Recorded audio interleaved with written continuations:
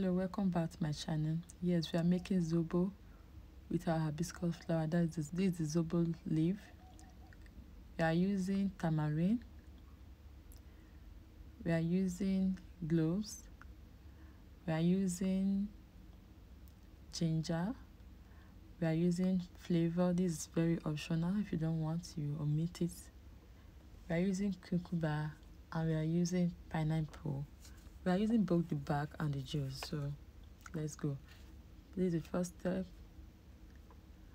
We are using we are cooking the bark alongside the ginger the tamarind and the zobo leaf plus the cloves. So it's very easy to make and it's very healthy. So instead of taking other carbonated drinks this holiday since you're around you are free you are resting. Why not make a healthy drink instead? You can omit the flavor if you don't want. And you just get your zobo is highly underrated. Because it's cheap people think it's mm, it's too cheap. No. Zobo this hibiscus flower is very good. It contains a lot of nutrients. Even the pineapple we are using the cloves, the cucumber the tamarind all of them are so good.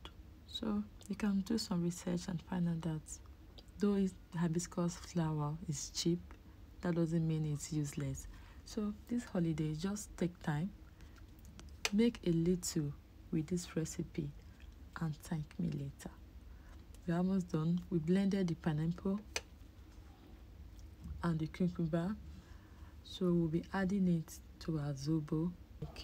You see the next thing we need to do now is just to filter so, the zobo that we are cooking. Our zobo is almost then done. we pour the blended plant pineapple and the blended cucumber already. So we then just filter it. We add our flavor. Wait for a while. Then we filter again before putting the plain before chiffon putting cloth the fruit because we want it very plain. We don't want to splash. We, we are not taking smoothie. We are taking juice, so we want it to be very plain.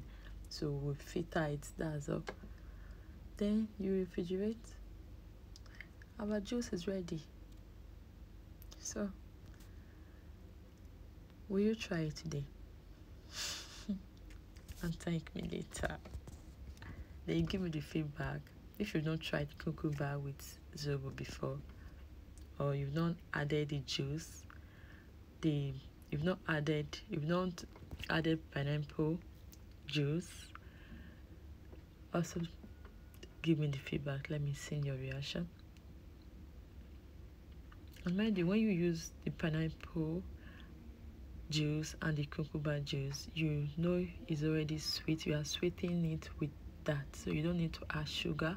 Even if you want to add the flavor you know it contains sugar. You you need to add little.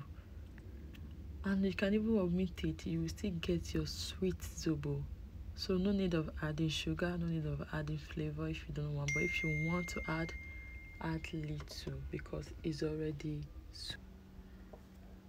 subscribe to our channel and click on the notification bell. Thanks for watching. Bye